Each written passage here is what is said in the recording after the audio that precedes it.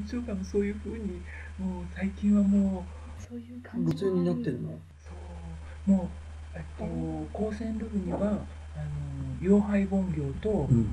あの今浅井が出した、はいはいはい。あのチラシ、うんはあれで高専ル部はなるよ読んで聞かせればとそう。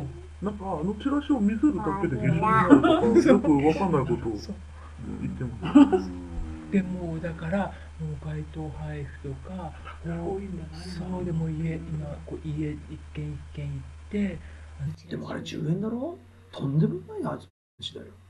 あんなに大量にするってあれがあんな10円なんかするはずないですから印刷屋に俺もしょっちゅうかけてるから分かるけどあのレベルだと本当にあのだけ大量すれば高くても出てきます、えうん、だから全部跳ねてる。最低限は跳ねてますね莫大な量ですよ。ー、もう検証からすっごい量買ってる。ですよ。で10円でありがたいみたいなそうそうそうそれそれ何言ってんだよ。って普通に印刷屋頼んでみろって。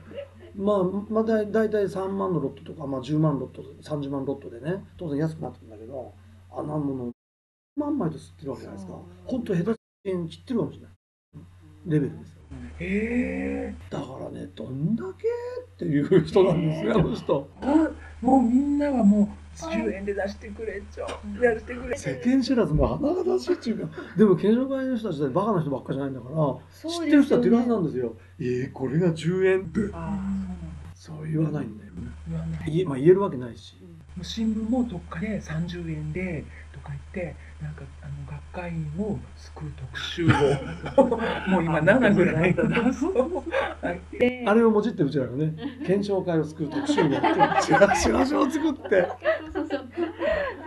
それをこうせもう先生がっていうメールが来るんですよ、うん。先生が30円でとか言っていうふうに来るからそのいや絶